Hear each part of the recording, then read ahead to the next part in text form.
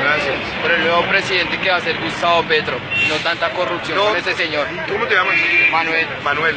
Yo te quiero decir a las personas que te están viendo, a todos los amigos, estamos en una democracia, tú puedes elegir por el que quieres, pero darte una oportunidad de conocer nuestras propuestas, te lo pido. Estoy en la Universidad Aquí. Pedagógica Nacional y por eso le estoy diciendo. ¿Sabes una cosa? Yo Sí, participé señor. muy activamente en los debates de la universidad pública en el Congreso y la defiendo.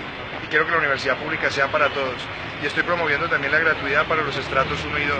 ¿Por qué? Porque queremos una Colombia donde la universidad gratuita, para los que más lo necesitan, nos permita cerrar las brechas. Ojalá sea Respeto tu posición también política. respeto su posición, pero también póngase por la situación de la gente pobre que necesita Así es, así es. Y te digo una cosa, por ejemplo, para que, para que lo sepan también sus amigos que te están viendo. Sí. La Universidad Industrial de Santander, la UIS, yo fui el ponente de la estampilla para darle más recursos, lo mismo para la Universidad Nacional.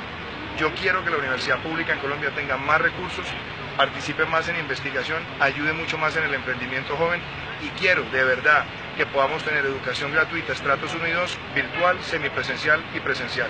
Gracias por tu fiscal vaya Hay que enfrentarla, hermano, hay que enfrentarla. Mira, para que también sepas, las propuestas nuestras para luchar contra la corrupción. Primero, quiero que la ciudadanía esté empoderada para denunciar, que saquemos adelante la extinción de dominio express para quitarle a los corruptos hasta el último peso, endurecer las penas y que se acabe la casa por cárcel y la reducción de penas. Bueno. Eso es muy importante en nuestro país. Y cero mermelada. Gracias. Te lo agradezco. ¿Cómo te llamas tú? Manuel. Gracias, Manuel. Muy querido.